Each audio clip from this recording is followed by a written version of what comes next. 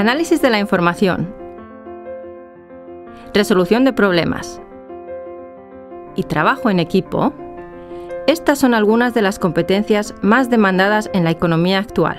Desde comienzos de la presente década, las personas con un alto nivel de educación han visto cómo sus perspectivas de empleo han aumentado significativamente. Las personas con nivel de estudios medio o bajo, por el contrario, han visto disminuir las suyas. Pero no se trata solo de educación, sino también de lo que somos capaces de hacer. En la vida diaria, las competencias básicas como comunicarse, saber planificar o respetar los plazos son tan importantes como las titulaciones o las cualificaciones.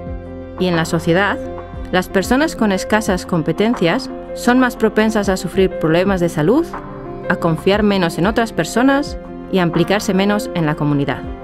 Así pues, si tuviéramos un mapa de competencias en el mundo, ¿cómo sería? La OCDE ha evaluado a más de 150.000 adultos en 24 países.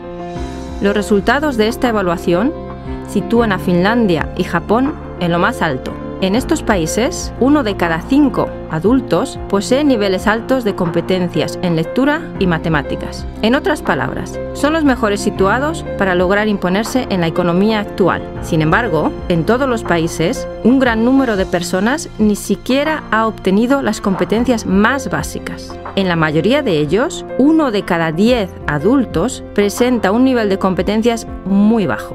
En Italia y España, solo uno de cada 20 adultos alcanza niveles máximos de competencias, lo que les aleja de la posibilidad de acceder al actual mercado laboral. Algunos de los países han avanzado en la mejora de sus niveles de competencias.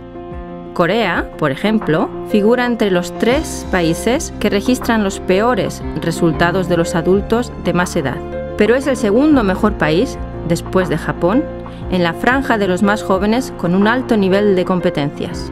Los finlandeses más mayores se sitúan en torno a la media, mientras que la generación más joven está entre las mejores junto a japoneses, coreanos y holandeses.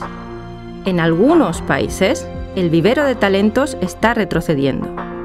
En Inglaterra, las personas mayores presentan un alto nivel de lectura, mientras que los jóvenes adultos se sitúan entre los últimos. En Estados Unidos, los más mayores están en torno a la media en matemáticas, mientras que el grupo entre 16 y 25 años son los últimos entre los jóvenes de los países evaluados.